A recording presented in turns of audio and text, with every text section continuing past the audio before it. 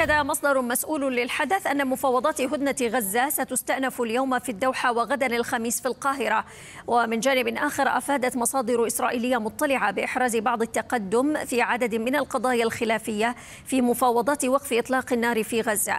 وبحسب المصادر فمن المقرر أن ينضم رئيس جهاز الأمن الداخلي الإسرائيلي الشاباك رونين بار والجنرال احتياط نيتسان ألون إلى رئيس الاستخبارات الخارجية الموساد ديفيد برنياع في مباحثة مباحثات الدوحة الرباعية التي من المفترض أن تجري اليوم.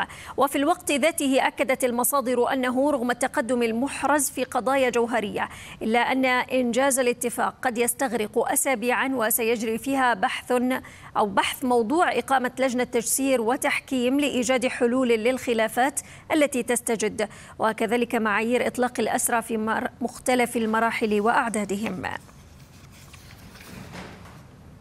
أكد المسؤول الإعلامي في حركة حماس وليد الكيلاني أن الحركة سلمت ردها على مقترح وقف إطلاق النار للوسطاء في مصر وقطر وتنتظر الرد الإسرائيلي.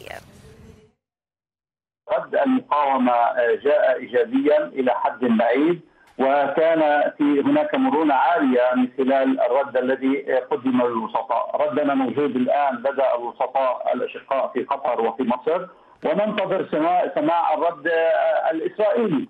وكما علمنا أن الجانب الإسرائيلي ناقش مع الوسطاء رد المقاومة وننتظر الرد الإسرائيلي على ما قدمته المقاومة خلال الأيام القادمة كما وصلنا من معلومات. لدى المقاومة هناك شروط واضحة وهي وقف إطلاق النار بشكل كامل وانسحاب العدو الصهيوني من قطاع غزة بشكل شامل.